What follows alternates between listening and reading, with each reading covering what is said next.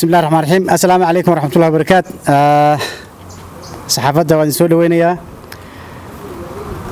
warmurtiyeed ka soo baxay xisbiyada mucaaradka iyo murashaxiinta madaxa bannaan. Annagoo ah xisbiyada siyaasadeed ee kale ah onelef feeb iyo murashaxiinta madaxa bannaan ee deegaanka soomaalida. Waxaan soo dhoweynaynaa kow go'aankii ka soo baxay guddiga doorashooyinka dalka ee neebe ee ah in dib loo dhigay doorashada deegaanka soomaalida.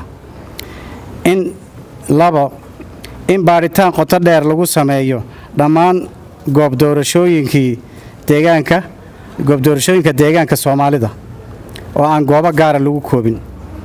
Saddex inay garowsadeen cabashooyinkii guddiga doorashadu inay garowsadeen cabashooyinkii ka soo yeedhay axsaabta murashaxiinta madaxa bannaan iyo dadweynaha soomaaliyeedba oo ahaa in lagu xadgudbay hanaanka diiwaangelinta iyo qaybinta kaararka codbixinta. Waxaan u aragnaa tallaabo horey loo qaaday oo keeni karta natiijo wanaagsan. Waxaan u aragnaa khalad khaladka ugu weyn ee dhacay inuu ahaa habka loo qaybiyey kaararka codbixinta iyo diiwaangelinta codbixiyayaasha haddaan la sixinna ay adag tahay in doorasho xalaala dhacdo.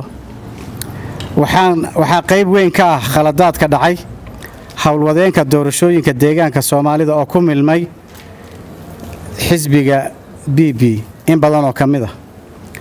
Waxaan diyaar u nahay haddaan axsaabta nahay iyo murashaxiinta madaxa bannaan wada shaqaynta guddiga doorashooyinka ee neebe waxaan u rajaynaynaa guddiga doorashooyinka ee neebe inay ku guulaystaan xilkooda ah doorasho xalaal ah oo horseeda isbeddel la mahadiyo. Waad mahadsantihiin